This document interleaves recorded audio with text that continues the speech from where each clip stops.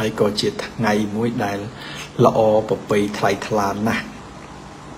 ហើយនៅក្នុងរាត្រីថ្ងៃនេះលោកគ្រូមហាជុំបានមកជួបបងប្អូនកូនក្មួយសិស្សគុណ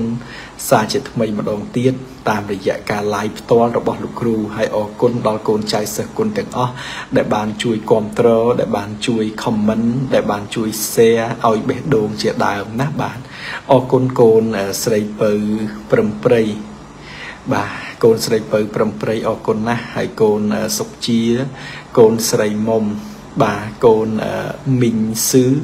ឈ្មោះដូចចិនអញ្ចឹងមីងសឺបាទនាងឧត្តរាពៅសូមសរសើរលោកគ្រូដោយស្មោះទោះទាយឲ្យគេជារៀងរាល់ថ្ងៃដោយមិនចង់បានអ្វីពីលៀបសក្ការៈរបស់គេឡើយសូមសរសើរ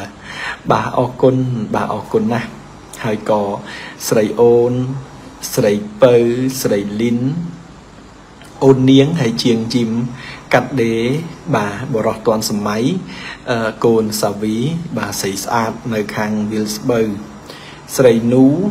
ម៉ាក់អូននូស្រីពៅធីតាម៉ាក់យាយមិនវិនម៉ាក់អាប៊ីបាទជំរាបសួរបាទអរគុណណាបាទខ្ញុំនៅក្នុងថ្ងៃនេះខ្ញុំលោកគ្រូមហាជុំនឹងទូទាយនៅជោគជាតារាសី សម្រាប់បងប្អូនកូនចៅសិស្សគុណទាំងអស់នៅថ្ងៃពុធស្អែកនេះរាសីរបស់អស់លោកអ្នកកូនចៅសិស្សគុណនឹងឡើងឬមួយក៏ចុះឬមួយក៏ជួបនៅប្រទះនៅបញ្ហាណាមួយនោះខ្ញុំនឹងទូទាយជូនបន្តិចទៀតនេះណាហើយសូមកូនចៅទាំងអស់ជួយ share នៅវីដេអូលោកគ្រូម្នាក់មួយម្នាក់មួយឲ្យបានច្រើនមកហើយ លោកគ្រូនឹងទូទាយជូនណាកូនចៅណាហើយចាំយកលេខសំណាងចាំយកពណ៌សំណាងប្រចាំថ្ងៃពុតស្អែកនេះថាតើលេខសំណាងយ៉ាងម៉េចអីយ៉ាងម៉េចអញ្ចឹងណាបាទអរគុណកូនពៅមាសអរគុណកូនស្រីទូចអរគុណកូនដាលីនអរគុណកូនចែតុបទិញស្រូវអរគុណកូនស្រីនូ API អរគុណណាកូនយាយសវណ្ណភូមិកូនរ៉ានីកូនស៊ីណាកូនម៉ា សុជាតិកូនជាងយឹមបាទណានៅក្នុងរាត្រីនេះលោកគ្រូនឹងទាយសម្រាប់ថ្ងៃស្អែកនឹងទូទាយសម្រាប់ថ្ងៃស្អែកណាបាទអញ្ចឹងសូមកូនចៅសិស្សគុណទាំងអស់លោករងចាំតាមដានទស្សនាកុំអាលទៅណាណាកុំអាលទៅណារងចាំមើលថាតើរិស័យប្រចាំថ្ងៃរបស់យើងមានឡើងឬមួយក៏ចុះណាបាទហើយខ្ញុំថ្ងៃនេះ ខ្ញុំសូមនិយាយមិនសូវជាលឺខ្លាំងប្រមាណទេសូមប្រើពាក្យសម្ដីថ្នមថ្នមតិចដោយសារតែអឺខ្លាចនិយាយលឺទៅវាថ្លង់ទី1ទី2ខ្លាចនិយាយទៅវាវាឈឺកំពង់កព្រោះថាកំពង់ក2ថ្ងៃនេះខ្ញុំប្រើច្រើនមែនតែនណាបាទខ្ញុំប្រើច្រើន ព្រោះថាមានកូនសិស្សកូនគុណគឺច្រើនមែនតែនមកជួបលោកគ្រូនៅអាសនៈច្រើនមែនតែនណាថ្ងៃច័ន្ទថ្ងៃអង្គារនេះ បាទច្រើនខ្លាំងបាទហើយចង់ជំរាបជូនថានៅថ្ងៃពុទ្ធនិងថ្ងៃពហុបែរថាស្អែកនិងខានស្អែកលោកគ្រូមហាជុំសូមអភ័យទោសពីកូនចៅសិស្សគុណផងថាលោកគ្រូមហាជុំ មិនបាននៅអាសនៈទេដោយសារថ្ងៃស្អែកព្រលឹមឡើងលោកគ្រូមានភារកិច្ចត្រូវចេញទៅបំពេញនៅខេត្តបៃលិនហើយនឹងចេញពីបៃលិនអានឹងបន្តទៅខេត្តសៀមរាបអញ្ចឹងទៅក៏មិនបានជួបកូនសិស្សទេផ្អាកជួបកូនសិស្សចំនួន2ថ្ងៃគឺថ្ងៃពុធនិងថ្ងៃប្រហ័សហើយកូនសិស្សកូនចៅសិស្សគុណដែលមកចង់ជួបលោកគ្រូមកជួបនៅអាសនៈបានពីថ្ងៃសុក្រ ណានៅថ្ងៃសុក្រគឺចាប់ផ្ដើមជួបវិញហើយដោយឡែកថ្ងៃពុធនិងថ្ងៃពហុពីថ្ងៃនេះសូមការអខានពីកូនចៅសិស្សគុណផងណាសូមការខន្តីអភ័យទោសពីអស់លោកអ្នកផងហើយក៏សូមអធិស្ឋានផងណាបើកូនចៅទៅដល់កន្លែងហើយមានការមិនជួបអីមកវិញអីកុំខឹងណាកុំខឹងមិនកុំខឹងណាព្រោះថាលោកគ្រូមានការងារបន្ទាន់ទៅបៃលិនហ្នឹងគឺការងារបន្ទាន់ណាកុំឲ្យកូនសិស្សគុណមកជួបហើយអត់ ចង់មកហើយអត់ជួបណាបាទអរគុណណាសិស្សគុណទាំងអស់ជាទីស្រឡាញ់អរគុណណាអឺសិស្សគុណជាទីស្នេហាអរគុណកូនពៅសំណប់ចិត្តរបស់លោកគ្រូ ដែលតែងតែព្រួយបារម្ភហើយនឹង take care អំពីសុខភាពរបស់លោកគ្រូហ្នឹងណាសូមប៉ុណ្្នឹងហើយខ្ញុំសូមបន្តមើលរាសីប្រចាំថ្ងៃពុទ្ធជូនដល់បងប្អូនកូនក្មួយណាបងប្អូនណាចឹងចង់ដឹងថាតើជោគជតារាសីរបស់យើង នៅកូនចៅសិស្សគុណដែលកើតឆ្នាំទាំង12រួមមានឆ្នាំជូតឆ្នាំឆ្លើយឆ្នាំខាលឆ្នាំថោះឆ្នាំរោងឆ្នាំសាញ់ឆ្នាំមមីឆ្នាំមមែឆ្នាំវករកាចកុលហ្នឹងតើរាសីរបស់លោកអ្នកយ៉ាងម៉េចដែរសម្រាប់ឆ្នាំសម្រាប់ថ្ងៃពុធ និយាយរួមស្អែកនឹងណាថាស្អែកនឹងរាសីយើងយ៉ាងម៉េចណាស្អែកនឹងរាសីយ៉ាងម៉េចណាហើយពាក់ព័ន្ធមួយប៉ុនមិញនេះសូមអភ័យទោសផងបើនិយាយទៅមានការខុសឆ្គងដោយប្រការណាមួយនោះគឺថាខ្ញុំអត់មានចេតនាទេព្រោះខ្ញុំក៏មិនមែនជាអ្នកចេះដឹងខាងពុទ្ធសាសនាអីដែរគ្រាន់តែថាខ្ញុំចេះដឹងតិចតួចតាមរយៈការសិក្សារៀនសូត្រការស្ដាប់ធម្មកថាហើយនឹងការអាន នៅបត្រៃបីដកអីអីអីអញ្ចឹងទៅធ្វើឲ្យខ្ញុំនឹងវាចេះចាំប៉ុណ្្នឹងទៅបើថាឲ្យវាបកែតម្ងអត់ទេណាអត់ទេចេះចែកម្លែកអីបានអញ្ចឹងទៅណាបាទបាទបាទឥឡូវនេះយើងផ្ដើមដំបូងដោយយើងអឺ ទស្សទាយនៅរាសីប្រចាំថ្ងៃពុធស្អែកនេះថាតើរាសីរបស់អស់លោកអ្នកនឹងនៅថ្ងៃស្អែកនឹងយ៉ាងម៉េចដែរអញ្ចឹងយើងផ្ដើមដំបូងពីឆ្នាំជូតណាលោកអ្នកដែលកើតឆ្នាំជូតលេខសំណាងប្រចាំថ្ងៃស្អែកគឺលេខ579រាសីមធ្យមពណ៌សំណាងគឺពណ៌ខៀវបាទអញ្ចឹងអឺលោកអ្នកដែលកើតឆ្នាំជូតរាសីប្រចាំនៅថ្ងៃពុធនេះគឺរាសីរបស់លោកអ្នកមធ្យម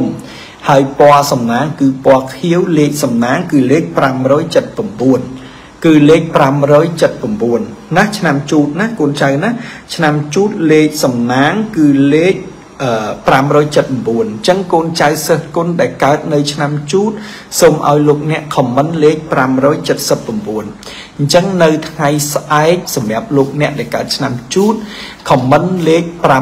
579ហើយនឹង share វីដេអូលោកគ្រូមហាជុំដាក់លេខ579 579ណាកូនចៅណាថ្ងៃពុទ្ធរិស័យរបស់លោកអ្នកនៅថ្ងៃស្អែកនឹងមធ្យម អញ្ចឹងការងារមួយចំនួន នៅថ្ងៃស្អែកនេះការងារមួយចំនួននៅថ្ងៃស្អែកសម្រាប់លោកអ្នកដែលកើតឆ្នាំជូតមានការរាំងស្ទះបន្តិចបន្តួចមានការរាំងស្ទះបន្តិចបន្តួចណាអត់សូវជារលូនប្រមាណទេ មានការរាំងស្ទះជាបន្តិចបន្តួចរាំងស្ទះនឹងដោយប្រការណាខ្លះរាំងស្ទះនឹងដោយប្រការអ្វីគឺនិយាយជារួមទៅគឺស្ទះលុយថ្ងៃស្អែកនឹងអ្នកកើតឆ្នាំជូតមានបញ្ហាលុយកាក់បន្តិចបន្តួចណាបាទ អ្នកកើតឆ្នាំជូតនឹងនៅថ្ងៃស្អែកមានបញ្ហាលុយកាក់បន្តិចបន្តួច ដែលអាចធ្វើឲ្យយើងនឹងវារៀងឈឺក្បាលបន្តិចមែនប៉ុន្តែបើទោះបីជាមានបញ្ហាលុយកាក់បន្តិចបន្តួចមែនប៉ុន្តែអត់អីទេអត់មានបញ្ហាអីដែលធ្វើឲ្យយើងថាដោះស្រាយមិនចេញទេ យើងមានដំណោះស្រាយចេញប៉ុន្តែយើងឈឺក្បាលអញ្ចឹងនៅថ្ងៃស្អែកនេះខ្ញុំផ្ដាំឲ្យផ្ដាំទៀតដល់កូនចៅសិស្សគុណដែលកើតនៅឆ្នាំជូតហ្នឹងគឺប្រយ័ត្នប្រយែងឲ្យមែនតើរឿងលុយកាក់ ព្រោះអាចមានការយឺតយ៉ាវហើយអាចមានការរាំងស្ទះដោយប្រការណាមួយណាបញ្ហាលុយកាក់រឿងរាំងស្ទះបើនិយាយអំពីកិច្ចការងារទូទៅប្រចាំថ្ងៃមិនថាយើងជាអ្នកលក់ដូររកស៊ីមិនថាជាយើងអ្នកប្រកបអាជីវកម្មផ្សេងផ្សេងហើយមិនថាយើងជាមន្ត្រីរាជការជាអាចារ្យវត្តជាអីចឹងណាបាទសុំទោសហើយមិនមិនប៉ះពាល់ដល់អាចារ្យវត្តទេបើវាជ្រុលមាត់ គឺយើងប្រព្រឹត្តទៅដំណើរការទៅវាធម្មតាសម្រាប់អាជីវកម្មរបស់យើងណាកូនចៅណាបាទសម្រាប់អាជីវកម្មរបស់យើងនឹងគឺវាដំណើរការទៅធម្មតាវារីករាយវាជោគជ័យហើយក៏វាហេងហេងសម្រាប់កិច្ចការងាររបស់យើងណាកូនចៅណាបាទហេងហេងជោគជ័យហេងហេងរីកចម្រើនប្រចាំថ្ងៃណាបាទសុខចម្រើនហើយរីករាយហើយក៏ធ្វើអីក៏ក៏សំប្រកបដែរធ្វើអីក៏ជោគជ័យដែរដំណើរការទៅគឺប្រព្រឹត្តទៅដោយរលូនដំណើរការទៅប្រព្រឹត្តទៅដោយជោគជ័យណាបាទរីករាយហើយក៏ហេងហេងហើយក៏ក៏សុខចម្រើនដែរសម្រាប់លោកអ្នកដែលកើតនៅឆ្នាំអឺជូតនឹងណាបាទការងារលក់ដូររកស៊ីប្រចាំថ្ងៃការងារធ្វើអ្វីអ្វីគ្រប់យ៉ាងហ្នឹងគឺដំណើរការទៅដោយរលូនដំណើរការទៅដោយជោគជ័យ ដំណើរការទៅដោយរីករាយណាបាទគឺយើងហេងហើយ គឺយើងជោគជ័យហើយ គឺយើងធ្វើអ្វីក៏យើងសំប្រកបដែរណាបាទសម្រាប់លោកអ្នកដែលកើតនៅឆ្នាំឆ្នាំជូតនឹងហើយបើនិយាយពីការធ្វើដំណើរទៅទីចិត្តទីឆ្ងាយក៏ក៏មិនមានបញ្ហាអីដែរគឺយើងអាចធ្វើដំណើរទៅបានប្រកបទៅដោយភាពគេហៅថាសុវត្ថិភាពសុវត្ថិភាពណាសុវត្ថិភាពទាំងទៅសុវត្ថិភាពទាំងមក ណាបាទសុវត្ថិភាពទាំងទៅសុវត្ថិភាពទាំងមកជោគជ័យទាំងទៅជោគជ័យទាំងមកអត់មានអីដែលជាការរាំងស្ទះហើយក៏អត់មានអីដែលជាការភ័យព្រួយសម្រាប់យើងដែរណាបាទហើយបើនិយាយពីបញ្ហាសុខភាពវិញសម្រាប់លោកអ្នកកើតឆ្នាំជូតនៅថ្ងៃស្អែកនេះគឺសុខភាពរបស់លោកអ្នកល្អប្រសើរអត់មានឈឺអត់មានគ្រុនហើយក៏អត់មានបញ្ហាណាមួយដែលជាការរាំងស្ទះសម្រាប់ពួកយើងដែរហើយបើយើងនិយាយ អឺអំពីអឺគេហៅថាបញ្ហាសុខភាពល្អហើយបើនិយាយពីរឿងរ៉ាវស្នេហាឆ្នាំជូតធម្មតាណាស្នេហាអត់មានការបែកបាក់អត់មានការឆ្លោះប្រកែកអីគ្នាទេគឺស្រឡាញ់គ្នាធម្មតាជោគជ័យជាមួយគ្នាធម្មតាហើយក៏ល្អធម្មតាណាអញ្ចឹងសរុបមកវិញលោកអ្នកដែលកើតឆ្នាំជូតនៅថ្ងៃស្អែកនេះគឺលោកអ្នកមានបញ្ហាមួយចំនួនគឺបញ្ហាលុយកាក់ វាអត់សូវជាល្អប្រហែលទេសម្រាប់លោកអ្នកណាអញ្ចឹងត្រូវប្រយ័ត្នប្រយែងតិចទៅដែលអ្នកកើតឆ្នាំជូតហ្នឹងគឺត្រូវមានការប្រុងប្រយ័ត្នឲ្យបានខ្ពស់បំផុតនៅថ្ងៃស្អែកហ្នឹងប៉ុន្តែវាមិនមែនជាឧបសគ្គអីដែលដែលដែលដែលថាវាត្រូវតែរំពឹងថាមិនល្អទេប៉ុន្តែវាមានការរាំងស្ទះតិចតួចអញ្ចឹងទោះបីជាយ៉ាងណាក៏ក៏វាអត់អីដែរណាអញ្ចឹងសរុបមកវិញកូនចៅដែលកើតឆ្នាំជូតគឺ រាសីលោកអ្នកមធ្យមពណ៌សំណាងពណ៌ខៀវលេខសំណាងគឺលេខ579លេខ579ណាអញ្ចឹងកូនចៅកុំភ្លេច comment លេខ579ហើយក៏ share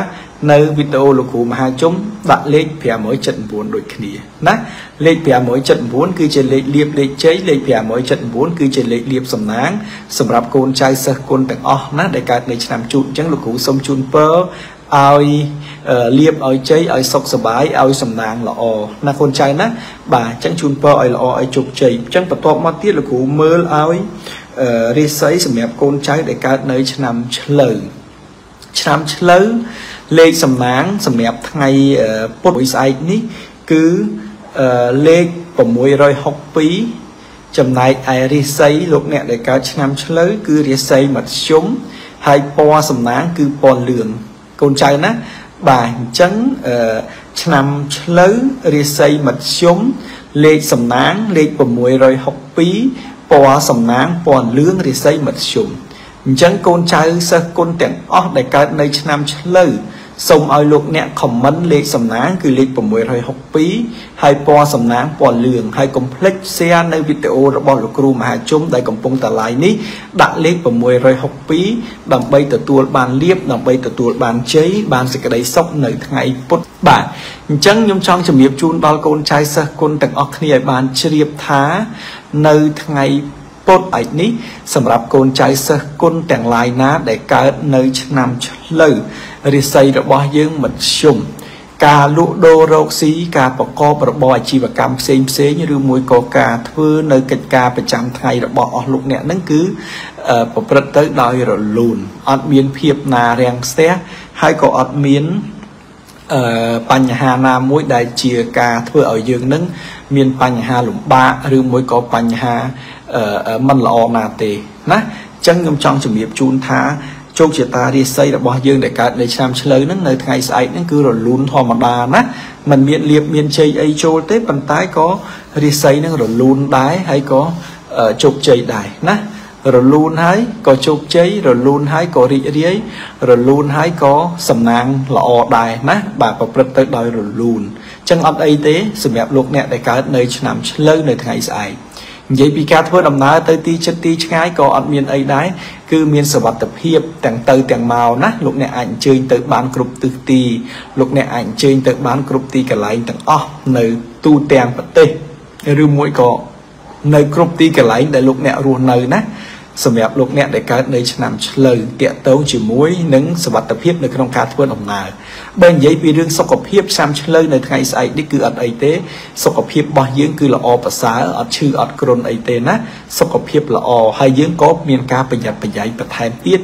ជុំវិញបញ្ហាសុខភាពនេះកុំបដែតបណ្ដោយតែឈឺហើយគឺពិបាកឲ្យគ្មានណាចង់ឈឺទេណាពាក់ព័ន្ធមួយបញ្ហាសុខភាពពាក់ព័ន្ធជាមួយអឺនឹង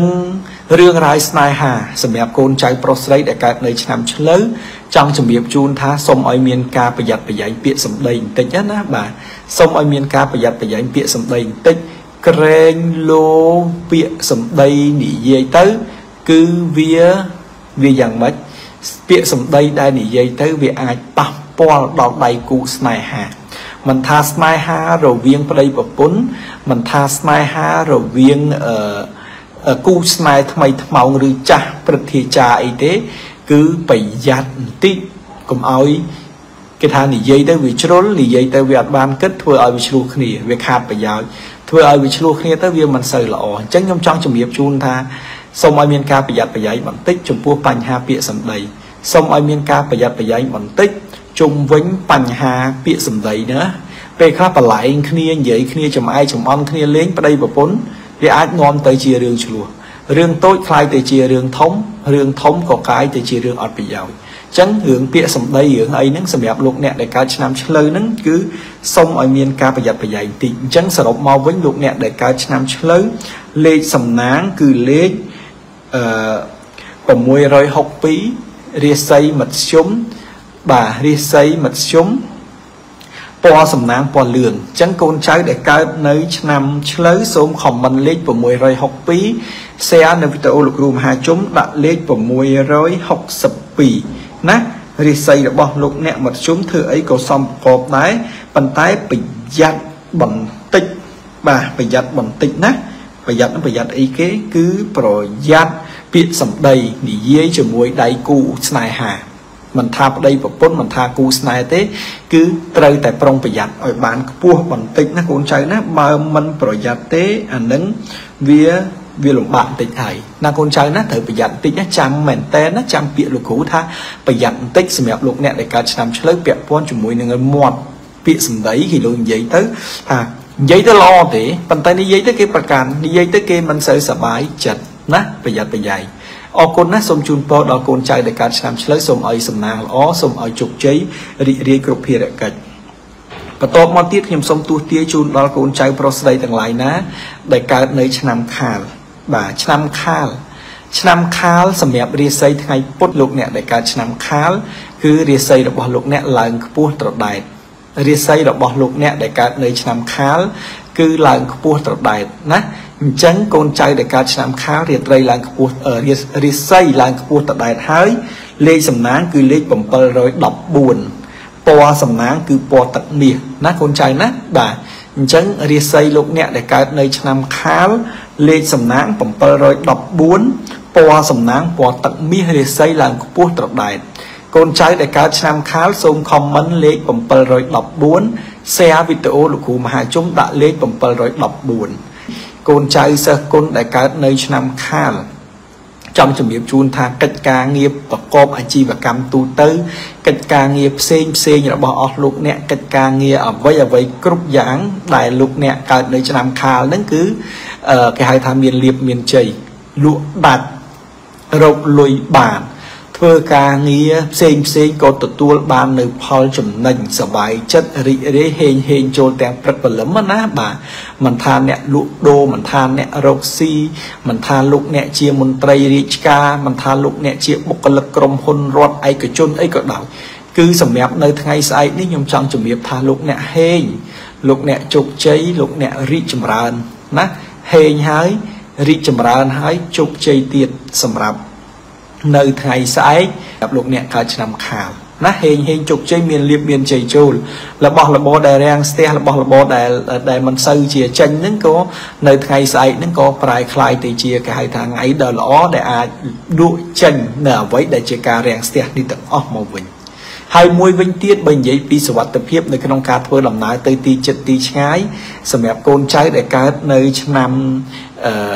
ខាលហ្នឹងគឺសវត្ថភាពទាំងទៅទាំងមកអត់មានបញ្ហាណាមួយដែលជាការរាំងស្ទះហើយអត់មានបញ្ហាណាមួយដែលជាការមិនល្អសម្រាប់យើងនោះទេបន្ទាប់មកទៀតបើនិយាយពីសុខភាពលោកអ្នកកើតឆ្នាំខាលនៅថ្ងៃស្អែកហ្នឹងគឺ សុខភាពល្អអត់ឈឺអត់គ្រុនអីទេ ហើយក៏អត់មានបញ្ហាណាមួយដែលជាការរំខានជាផលលមាស់ឲ្យយើងឈឺគ្រុនអីដែលគិតដែលលំបាកទិញថ្នាំលាបទេណាបាទហើយមួយទៀតនោះគឺបញ្ហាស្នេហាវិញសម្រាប់លោកអ្នកដែលកើតនៅឆ្នាំខាលហ្នឹងគឺស្នេហាគឺមានភាពផ្អែមល្ហែមស្នេហាគឺមានភាពគេថាស្អិតល្មួតសុភមង្គលរីកចម្រើនហេងហេងជោគជ័យណាស់ បាទសម្រាប់ស្នេហារបស់អស់លោកអ្នកអញ្ចឹងស្នេហារបស់អស់លោកអ្នកនឹងរីកចម្រើន ស្នេហារបស់អស់លោកអ្នកនឹងគឺគឺជោគជ័យស្នេហារបស់លោកអ្នកនេះគឺផ្អែមល្ហែមស្រឡាញ់គ្នាស្អិតល្មួតបើសិនបើយើងឆ្លោះគ្នានឹងយើងក៏ត្រូវរើគ្នាវិញហើយបើសិនជាយើងមានការនិយាយអីមិនថាប្រកែកគ្នាអីអញ្ចឹងណាបាទក៏ត្រូវគ្នាវិញដែរសម្រាប់លោកអ្នកដែលកើតនៅឆ្នាំខាល បាទឆ្នាំខាលល្អជោគជ័យអញ្ចឹងខ្ញុំត្រឡប់មកវិញឆ្នាំខាលរិស័យឡើងខ្ពស់តដែតលេខសំណាង714កូនចៅអាច comment លេខ714ហើយ share វីដេអូលោកគ្រូមហាជុំដាក់លេខ714អញ្ចឹងលោកអ្នកមានលៀបលោកអ្នកមានជ័យលោកអ្នកប្រាថ្នានៃកិច្ចការងារអីក៏បានសម្រេចដោយសេចក្តីបំណងពងប្រាថ្នាធ្វើអីក៏សំប្រកបធ្វើអីក៏រីករាយជោគជ័យដែររកស៊ីមានបានតិចតជុងសុខដុមរមនាសុវត្ថិភាពទាំងការធ្វើដំណើរហេងហេងមានលុយហូរចូលស្នេហាក៏ផ្អែមល្ហែមសុខភាពក៏ល្អអញ្ចឹងលោកគ្រូសូមជូនពរណាប្រសិទ្ធពរជ័យសេរីវិបុលសុខមហាប្រសើរជូនដល់កូនចៅសិស្សគុណទាំងអស់ដែលកើតនៅក្នុងឆ្នាំ ខាលហ្នឹងសូមឲ្យមានលៀបសូមឲ្យមានជ័យហើយសូមឲ្យប្រាថ្នានៅកិច្ចការងារអីសូមឲ្យបានសម្រេចដោយសេចក្តីបំណងពងប្រាថ្នារបស់អស់លោកអ្នកណាបាទចាប់ពីពេលនេះតរៀងទៅគ្រប់ពេលគ្រប់វេលាគ្រប់ កលៈទេសៈទាំងអស់ណាសុខសប្បាយសុវត្ថិភាពហេងហេងសម្រាប់ការងារប្រចាំថ្ងៃរបស់អស់លោកអ្នកបាទអរគុណណាសម្រាប់លោកអ្នកដែលកើតនៅឆ្នាំខាលណាកុំភ្លេច comment លេខសំណាង714ហើយកុំភ្លេច share នៅវីដេអូលោកគ្រូដាក់លេខ714បាទបន្ទាប់ពីឆ្នាំខាលហើយមកដល់ឆ្នាំថោះណាឆ្នាំថោះលេខសំណាងលេខ337រិស័យមធ្យមពណ៌សំណាងគឺពណ៌បៃតង គឺរាសីរបស់លោកអ្នកដែលកើតនៅឆ្នាំថោះហ្នឹងគឺមធ្យមមធ្យមដែរបាទលេខសំណាងគឺលេខ337រាសីមធ្យមពណ៌សំណាងគឺពណ៌បៃតងអញ្ចឹងសម្រាប់ថ្ងៃពុទ្ធគឺរាសីលោកអ្នកដែលកើតឆ្នាំថោះហ្នឹងគឺមធ្យមណាបាទការងារលក់ដូរប្រចាំថ្ងៃនៅថ្ងៃស្អែកនេះគឺល្អប្រសើរអត់មានបញ្ហារាំងស្ទះទេ ហើយក៏អត់មានលៀបមានជ័យចូលដែរបានន័យថាធ្លាប់លក់យ៉ាងម៉េចក៏លក់អញ្ចឹងទៅធ្លាប់ធ្វើអីក៏ធ្វើអញ្ចឹងទៅសំប្រកបឲ្យរីករាយសบายចិត្តណាព្រោះអត់មានរាំងស្ទះទេលុយកាក់មាសប្រាក់អីហ្នឹងក៏បានមកសំប្រកបក៏បានមកល្អប្រសើរក៏បានមករីករាយក៏បានមកជោគជ័យចឹងដែរទៅចិត្តតែបានលុយមកតេតក់តេតក់អញ្ចឹងទៅថាបើបានលៀបធំអីច្រើនក៏អត់បានដែរប៉ុន្តែបានល្មម ធ្លាប់លក់ដាច់ស្មើណាលក់អស់ស្មើនឹងធ្លាប់ធ្វើការទៅបរិយាកាសល្អប្រសើរអីក៏វាល្អទៅតាមនឹងដែរទៅវាក៏រីចម្រើនទៅតាមនឹងដែរទៅវាក៏ជោគជ័យទៅតាមនឹងដែរទៅអញ្ចឹងអត់អីទេសម្រាប់ជោគជាតារិស័យលោកអ្នកដែលកើតនៅឆ្នាំថោះនឹងហើយបើនិយាយពីសមត្ថភាពនៅក្នុងការធ្វើដំណើរគឺនៅថ្ងៃស្អែកនេះសម្រាប់លោកអ្នកដែលកើតនៅឆ្នាំថោះលោកគ្រូជំរាបជូនថាកុំធ្វើដំណើរតាមផ្លូវទឹកណា បាទអ្នកកើតឆ្នាំថោះនៅថ្ងៃស្អែកនេះហាមធ្វើដំណើរតាមផ្លូវទឹកបើសិនជាលោកអ្នកត្រូវធ្វើដំណើរតាមផ្លូវទឹកវែងឆ្ងាយអីខ្ញុំសុំថាកុំអីណាបាទកុំអីវាអត់សូវល្អទេអញ្ចឹងប្រយ័ត្នប្រយែងបន្តិចទៅណាបាទធ្វើដំណើរតាមផ្លូវទឹកប៉ុន្តែលោកគ្រូមហាជុំផ្ទះខ្ញុំនៅត្រួយមកខាងនៅស្វាយជ្រុំនៅអរិយខ្សាត់ត្រូវមករាជធានីភ្នំពេញត្រូវឆ្លងដរអាហ្នឹងធ្វើម៉េចអាហ្នឹងអត់អីទេឆ្លងទៅណាវាដំណើរខ្លី ប៉ុន្តែបើដំណើរវែងណាជាការកំសាន្តជាការអីអីអីអីអីអីអីហ្នឹងគឺវាអត់គួរទេណាស្អែកហ្នឹងរឿងធ្វើដំណើរមួយតាមផ្លូវទឹកហាមបន្តិចណាអត់សវត្ថភាពទេសម្រាប់លោកអ្នកដែលកើតនៅឆ្នាំថោះហ្នឹងណាប្រយ័ត្នបន្តិចទៅពាក់ព័ន្ធជាមួយនឹងការធ្វើដំណើរជាពិសេសគឺការធ្វើដំណើរតាមផ្លូវទឹកហើយបើនិយាយពី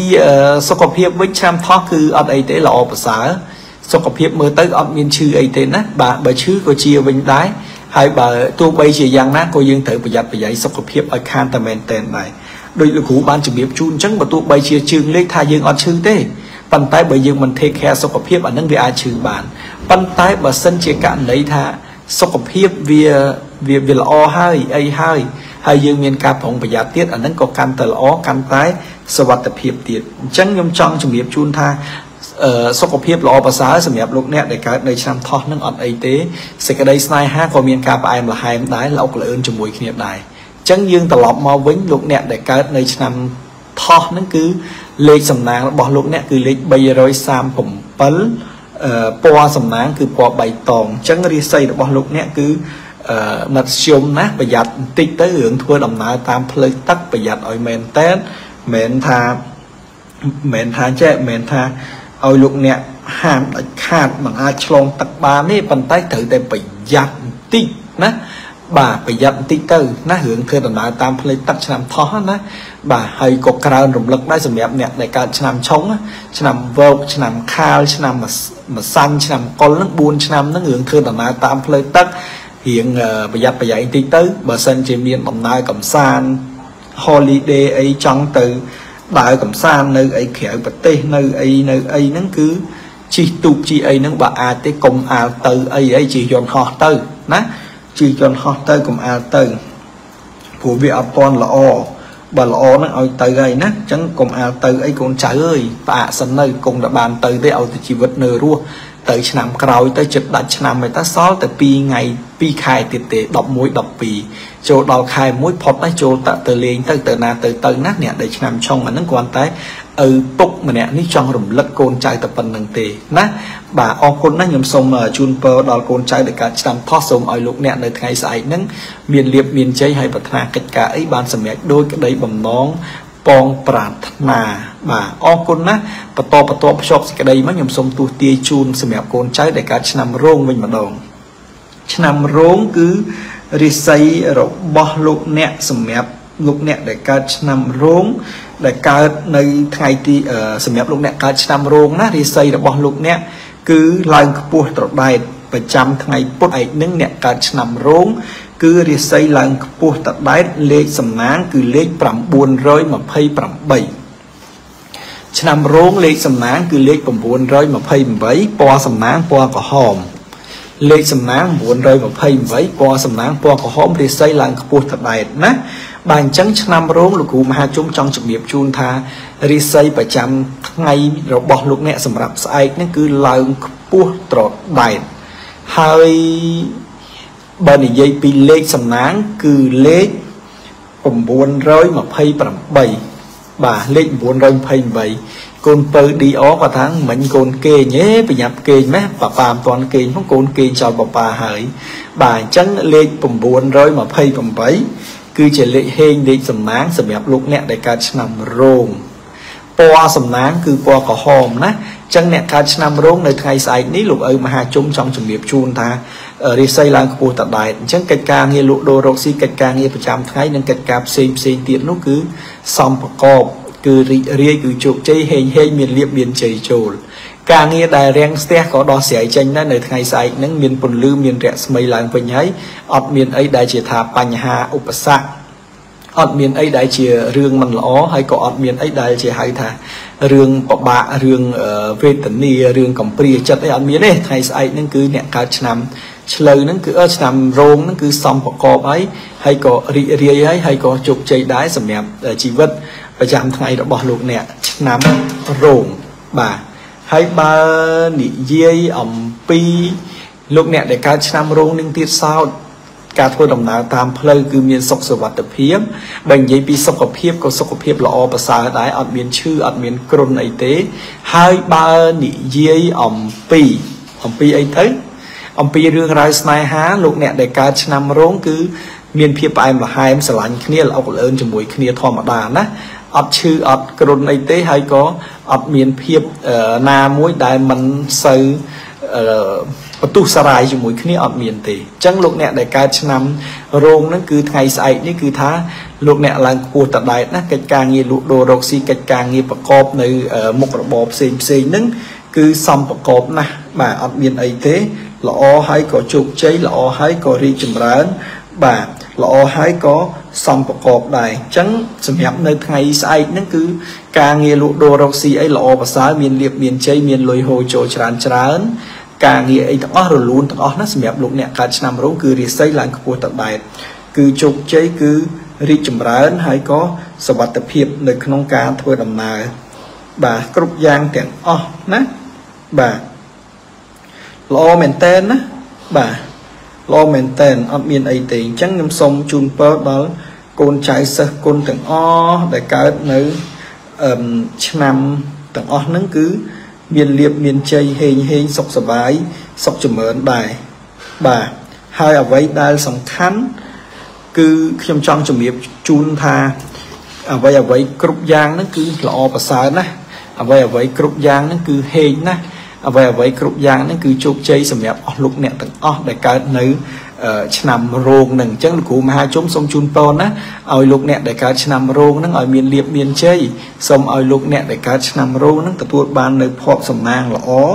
ហើយអឺ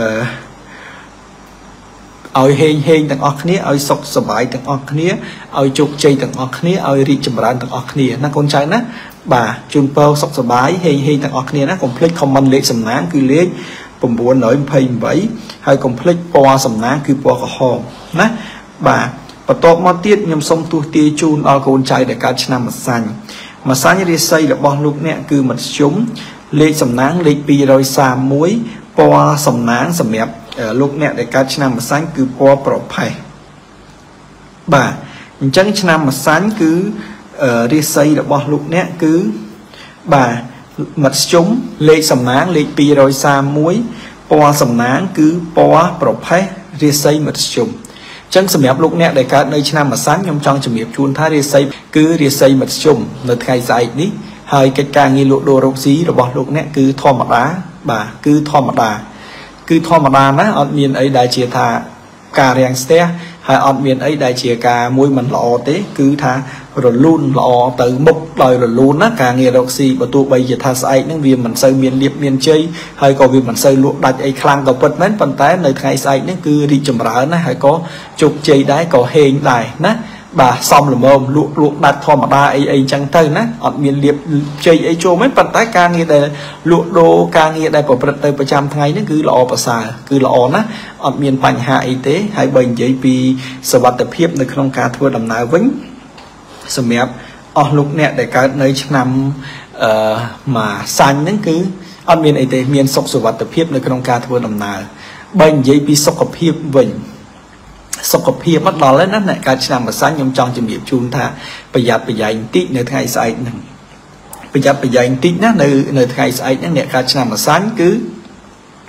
សូមឲ្យមានការប្រយ័ត្នប្រយែងបន្តិចចំពោះបញ្ហាសុខភាព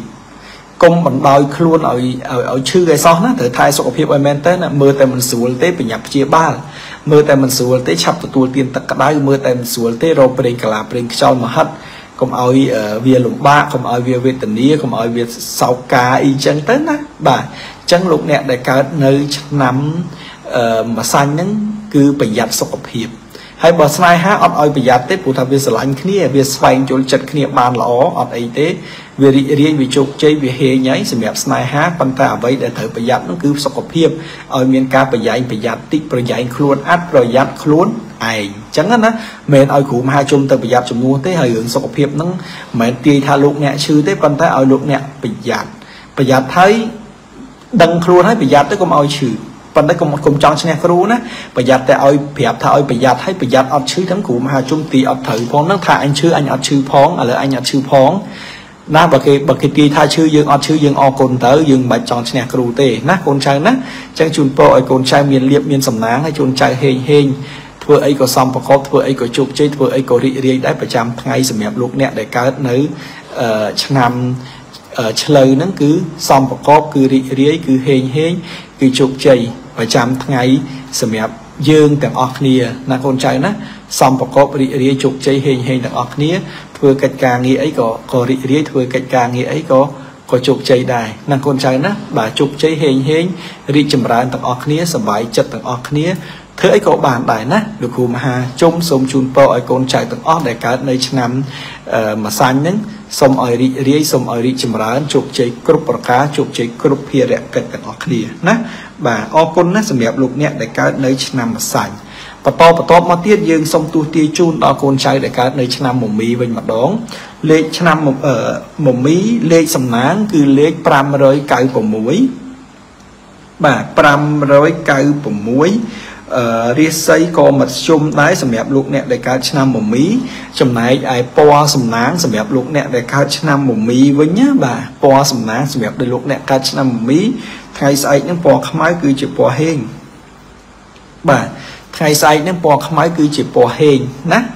បាទអញ្ចឹងលោកអ្នកដែលកើតនៅឆ្នាំមមីគឺមានលេខសំណាង596 បាទ596លេខសំណាង596រាសីមធ្យមពណ៌សំណាងគឺពណ៌ខ្មៅកូនចៅប្រុសស្រីទាំងអស់ដែលកើតនៅឆ្នាំមមីខ្ញុំសូមឲ្យលោកអ្នកខមមិនលេខសំណាងគឺលេខ596ពណ៌សំណាងគឺពណ៌ខ្មៅរាសីគឺមធ្យមលោកអ្នកប្រកបកិច្ចការងារអ្វីលោកអ្នកធ្វើអីនៅថ្ងៃអឺស្អែកថ្ងៃពុធហ្នឹងគឺសំប្រកបហើយក៏រីករាយ ហើយក៏ជោគជ័យដែរធ្វើអីសំប្រកបធ្វើអីរីករាយធ្វើអីជោគជ័យណាដំណើរការទៅដោយរលូននៅថ្ងៃស្អែកហ្នឹងអត់អីទេហើយបើនិយាយពីបញ្ហាក្នុងការធ្វើដំណើរគឺលោកអ្នកមានគេហៅថាសុខសวัสดิភាពនៅក្នុងការធ្វើដំណើរហ្នឹងទាំងទៅទាំងមកអត់មានអីដែលជាការរាំងស្ទះសម្រាប់អស់លោកអ្នកទេ បាទសวัสดิភាពលោកអ្នកអញ្ជើញទៅចោះអត់អីទេ ហើយបើនិយាយពីបញ្ហាសុខភាពល្អប្រសើរសម្រាប់លោកអ្នកកើតឆ្នាំមមីអត់មានការឈឺគ្រុនអីទេហើយក៏អត់មានបញ្ហាណាមួយជាផលលំមាស់ផលរំខានដល់អស់លោកអ្នកដែរហើយបើនិយាយពីរឿងរ៉ាវស្នេហាវិញសម្រាប់លោកអ្នកកើតឆ្នាំមមីឲ្យប្រយ័ត្នប្រយែងពាក្យសម្ដីបន្តិចទៅព្រោះថ្ងៃស្អែកហ្នឹងបើមិនប្រយ័ត្នទេអាចឆ្លោះគ្នាដោយសារពាក្យសម្ដីយើងនិយាយទៅគេប្រកាន់យើងណាកូនចៅណាបាទនិយាយទៅយើងនិយាយវាល្អទេប៉ុន្តែ ប៉ុន្តែអ្នកដែលគេស្ដាប់មកគេមិនថាយើងល្អណាវាប្រែអាអាមិនល្អហ្នឹងវាទៅជារឿងរ៉ាវដែលឆ្លោះគ្នាយើងនិយាយធម្មតាទេថានិយាយទៅឲ្យល្អទេនិយាយទៅឲ្យរីករាយទេនិយាយទៅឲ្យឲ្យវាសវាយទាំងអស់គ្នាទេប៉ុន្តែវាមិនបានសបាយណាវាមិនបានរីករាយវាមិនបានជោគជ័យវាប្រែទៅជាទៅជារឿងមិនល្អទៀតណាកូនចៅណាអញ្ចឹងខ្ញុំសូមឲ្យកូនចៅសិស្សគុណទាំងអស់ដែលកើតនៅឆ្នាំ អឺចឆ្នាំមមីនឹងប្រយ័ត្នប្រយែងពាក្យសម្ដីជាមួយនឹងដៃគូស្នេហាមិនថាប្តីប្រពន្ធមិនថាគូសង្សារគឺត្រូវមានការប្រយ័ត្នប្រយែងឲ្យបានខ្លាំងបន្តិចទៅកុំឲ្យជ្រុះគ្នាណានៅស្ងៀមជាងស្រដីស៊ីជ័យខ្ចីចេះជាងនៅមាត់ទទេ បើយើងឆ្នាំមមីយើងប្រយ័ត្នពាក្យសម្ដីហើយបើយើងមានប្តីប្រពន្ធណាដែលកើតឆ្នាំមមីឧទាហរណ៍ថាយើងមានប្តីកើតឆ្នាំមមីឧទាហរណ៍យើងមានប្រពន្ធកើតឆ្នាំមមីយើងគួរតែមានការប្រុងប្រយ័ត្នទៅហើយកុំកុំកុំប្រកាន់ខឹងថាលេខហ្នឹងវាត្រូវអញ្ចឹងហើយយើងកុំខឹងយើងអត់ឆ្លោះទេហើយបើយើងអត់អត់អត់អត់ប្រយ័ត្នទេ អានឹងយើងខឹងអានឹងយើងឆ្លោះហើយណាកូនចៅណាសូមជូនពរឲ្យរីកចម្រើនសូមជូនពរឲ្យជោគជ័យសូមជូនពរឲ្យលោកអ្នកធ្វើអ្វីបានសមប្រកបសម្រាប់លោកអ្នកដែលកើតនៅឆ្នាំមមីអញ្ចឹងមមីជោគជ័យមមីរីកចម្រើនណាបាទបន្ទាប់មកទៀតលោកគ្រូមហាជុំសូមទួទាយជូនដល់កូនចៅប្រុសស្រីទាំងឡាយណាដែលកើតនៅឆ្នាំមម៉ែវិញម្ដងមម៉ែលេខសំណាងគឺលេខ846 បាទមម៉ែលេខសំណាងគឺលេខ846 846រាសីឡើងខ្ពស់នៅថ្ងៃស្អែកហ្នឹងគឺមម៉ែរាសីឡើងខ្ពស់ចំណែកឯពណ៌សំណាងគឺពណ៌សឆ្នាំមម៉ែរាសីរបស់លោកអ្នកបាទរាសីរបស់លោកអ្នកដែលកើតឆ្នាំមម៉ែហ្នឹងគឺអឺឡើងខ្ពស់ទៅដែរ រាសីរបស់លោកអ្នកដែលកើតឆ្នាំមមែនហ្នឹងគឺឡើងខ្ពស់តដែតណាសម្រាប់លោកអ្នកដែលកើតនៅឆ្នាំមមែសម្រាប់ថ្ងៃពុធមកគឺរាសីឡើងខ្ពស់តដែតលេខសំណាងគឺលេខ846ពណ៌សំណាងគឺពណ៌សអញ្ចឹងកូនចៅសិស្សគុណដែលកើតនៅឆ្នាំមមែលោកគ្រូមហាជុំសូមឲ្យ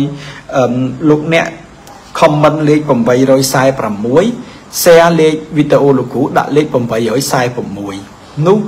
លោកអ្នកនឹងទទួលបានលៀបជ័យនោះលោកអ្នកនឹងទទួលបានលៀបសំណាងអញ្ចឹងយើងត្រឡប់មកវិញអ្នកដែលកើតឆ្នាំមួយមែននៅថ្ងៃស្អែកនេះកិច្ចការងារលក់ដូររកស៊ីប្រចាំថ្ងៃមុខរបរចិញ្ចឹមជីវិតរបរទទួលទានឬមួយក៏ការងារអ្វីទាំងអស់គឺសម្រាប់លោកអ្នកដែលកើតឆ្នាំមួយមែននឹងចង់ជំរាបជូនថា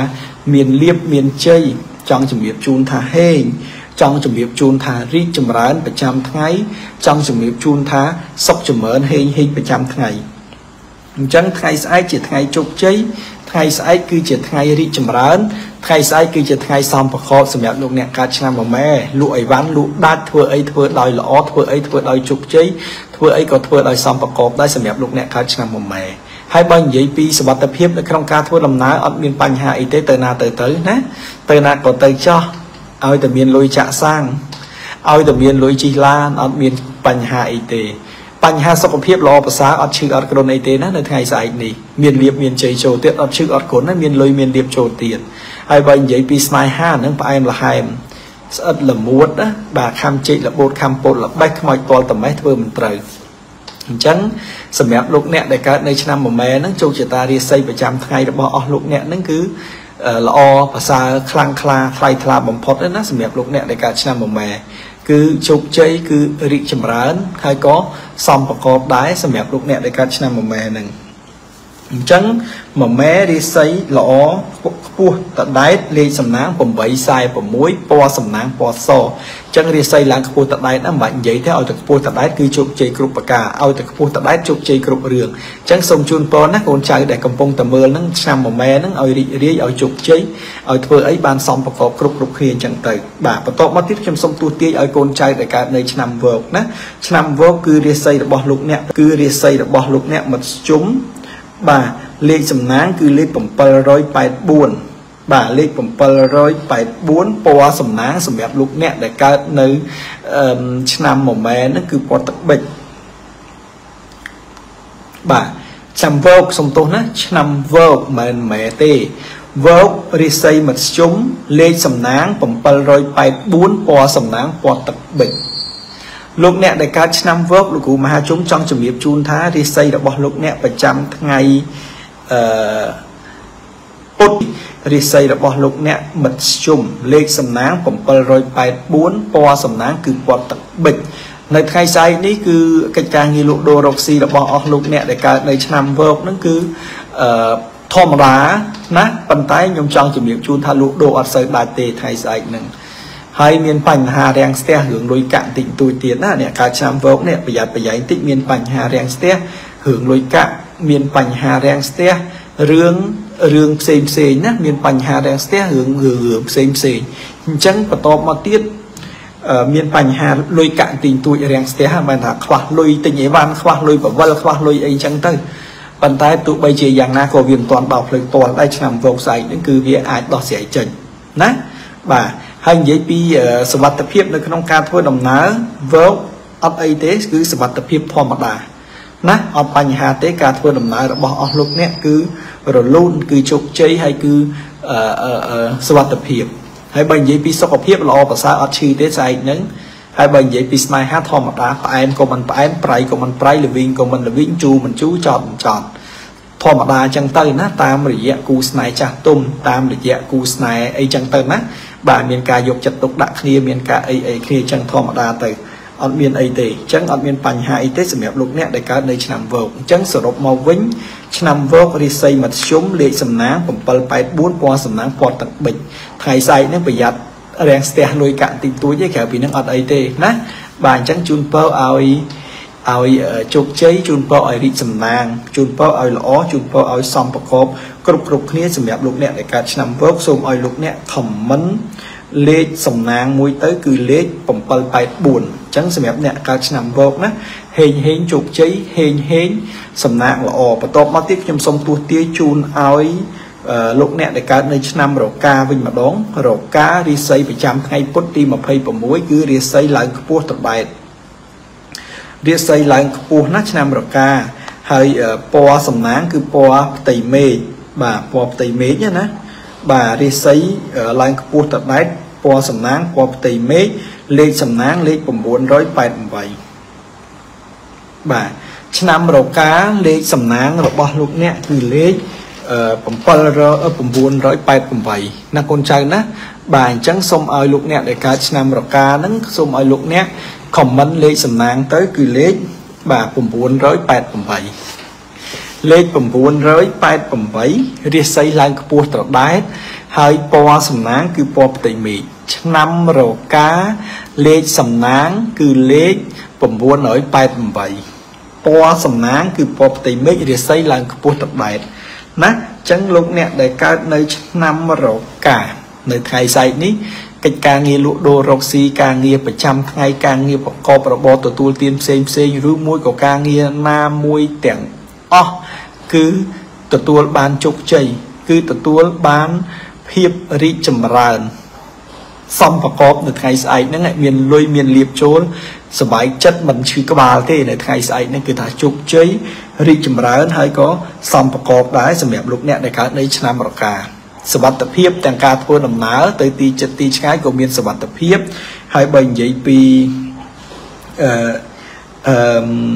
សុខភាពក៏ល្អប្រសើរបញ្ហាស្នេហាក៏មានការផ្អែមល្ហែមមួយគ្នាដែរ ចឹងសរុបមកវិញលោកអ្នកដែលកើតឆ្នាំរកាសូមឲ្យលោកអ្នកខមមិនលេខ988រាសីរបស់លោកអ្នកឡើងខ្ពស់តដែតណាថ្ងៃស្អែកធ្វើអីក៏បានជោគជ័យធ្វើអីក៏បានរីកចម្រើនដែរជោគជ័យរីករាយជោគជ័យសំប្រកបធ្វើអីសំប្រកបធ្វើអីជោគជ័យណាដោយបំណងរបស់អស់លោកអ្នកដែលពងប្រាថ្នាអរគុណណាជូនពរឲ្យលោកអ្នកមានលៀបសំណាងជូនពរឲ្យលោកអ្នកជោគជ័យជូនពរឲ្យលោកអ្នកបានសំប្រកបនៅអ្វីអ្វីគ្រប់យ៉ាងទាំងអស់ដែលកូនចៅបានធ្វើ អរគុណណាកូនចៅណារីកចម្រើនហើយជោគជ័យហើយក៏សំណាងល្អដែរសម្រាប់លោកអ្នកបាទបន្ទាប់មកទៀតលេខកូនចៅដែលកើតនៅឆ្នាំចវិញម្ដងឆ្នាំចលេខសំណាងគឺលេខ995បាទ995 995សម្រាប់លោកអ្នកកើតឆ្នាំចរាសីមធ្យមពណ៌សំណាងលោកអ្នកដែលកើតឆ្នាំចគឺពណ៌បាទពណ៌សំណាងដែលលោកអ្នកដែលកើត នៅឆ្នាំចបាទឆ្នាំចគឺរាសីរបស់លោកអ្នកដែលកើតនៅឆ្នាំឆ្នាំចហើយរាសីលោកអ្នកសម្រាប់ថ្ងៃពុធហ្នឹងគឺរាសីមធ្យមលេខសំណាងគឺលេខ995ចំណែកឯពណ៌សំណាងចំណែកឯពណ៌សំណាងគឺគឺពណ៌អីទៅគឺពណ៌ស្វាយកូនចៅណា គឺពណ៌ស្វាយណាស្វាយពណ៌អាយស្វាយចឹងឆ្នាំចរាសីរបស់លោកអ្នកសម្រាប់ថ្ងៃពុទ្ធគឺរាសីរបស់លោកអ្នកមធ្យមណាមធ្យមសម្រាប់លោកអ្នកកើតឆ្នាំចលេខសំណាង995ពណ៌សំណាងគឺពណ៌ស្វាយថ្ងៃស្អែកនេះខ្ញុំចង់ជម្រាបជូនថាកិច្ចការងារលក់ដូររកស៊ីកិច្ចការងារផ្សេងផ្សេងសម្រាប់លោកអ្នកកើតឆ្នាំចហ្នឹងគឺប្រព្រឹត្តទៅដោយធម្មតាដោយរលូន ទោះបីជាមិនមានលៀបមានជ័យអីច្រើនគួរឲ្យកត់សម្គាល់ដែរប៉ុន្តែអ្នកកើតឆ្នាំចហ្នឹងគឺមានលុយចូលលក់ដូរអីដាច់មានប្រាក់ចំណេញអីអញ្ចឹងទៅបានល្អបានគួរសមដែរគួរជាទីពេញចិត្តគួរជាទីគេហៅថាមនោរមសម្រាប់ខ្លួនយើងដែលអាចទទួលយកបានហើយបើនិយាយពីសុវត្ថិភាពនៅក្នុងការធ្វើដំណើរលោកអ្នកអាចធ្វើដំណើរបានណាទាំងទៅទាំងមកអញ្ជើញទៅណាក៏បានដែរ អត់អីទេមានសុខសុវត្ថិភាព ហើយបើនិយាយពីសុខភាពវិញឆ្នាំចគឺសុខភាពអត់សូវល្អទេអញ្ចឹងថ្ងៃស្អែកនេះត្រូវប្រយ័ត្នប្រយែងសុខភាពបន្តិចទៅហើយបើនិយាយអំពីអឺបើនិយាយអំពីបញ្ហាសុខភាពអត់ល្អហើយបើនិយាយអំពីអំពីរឿងរ៉ាវស្នេហាលោកអ្នកដែលកើតឆ្នាំចនេះគឺអត់អីទេបានន័យថាស្នេហាផ្អែមល្ហែមហើយមានការយោគយល់គ្នា អត់អីទេណាលោកអ្នកកើតឆ្នាំចសុំទោសណាមិញនេះពីចិត្តចប់ទៅប៉ះដងកាមេរ៉ាវារៀងកើអីណាកុំខឹងអីណាកូនចៅណាជូនពរឲ្យសំណាងល្អអញ្ចឹងសរុបមកវិញឆ្នាំចលេខសំណាងគឺលេខ995ពណ៌សំណាងពណ៌ស្វាយរាសីមធ្យមថ្ងៃស្អែកអត់អីទេប្រយ័ត្នសុខភាពបន្តិចទៅព្រោះថាសុខភាពអត់សូវល្អទេណាបាទបន្ទាប់មកទៀតខ្ញុំសូមទស្សទាយជូនដល់រាសីដែលកើតឆ្នាំកុលគឺលេខ524លេខសំណាង 524លេខសំណាងរាសីឡើងខ្ពស់ត្រដែតពណ៌សំណាងសម្រាប់លោកអ្នកដែលកើតនៅឆ្នាំកុលហ្នឹងគឺពណ៌ទឹកប្រាក់ពណ៌ទឹកប្រាក់ណាកូនចៅណាកុំភ្លេចស្អែកហ្នឹងពាក់អាវពណ៌ទឹកប្រាក់ទៅយកលៀបយកជ័យបាទអញ្ចឹងលោកអ្នកដែលកើតនៅឆ្នាំកុលគឺរាសីរបស់លោកអ្នកដែលកើតនៅឆ្នាំកុលហ្នឹងគឺឡើងខ្ពស់ត្រដែត លេខសំណាង524ពណ៌សំណាងពណ៌ទឹកប្រាក់អញ្ចឹងកូនចៅដែលកើតឆ្នាំកុលសូមឲ្យ comment លេខ524 share វីដេអូលោកគ្រូមហាជុំលេខ524ពណ៌សំណាងពណ៌ទឹកប្រាក់ណាអញ្ចឹងខ្ញុំសូមជូនពរជូនជ័យដល់កូនចៅប្រុសស្រីដែលកើតនៅឆ្នាំកុលហ្នឹងសូមឲ្យមានលៀបជ័យសូមឲ្យមានសំណាងល្អសូមឲ្យធ្វើការងារអីហ្នឹងបានសមប្រកបដោយបំណងពងប្រាថ្នាហើយការងារអ្វីអ្វីគ្រប់យ៉ាងប្រចាំថ្ងៃពុទ្ធស្អែកនេះគឺល្អជោគជ័យរីករាយអត់អីទេណាកូនចៅណា គឺថា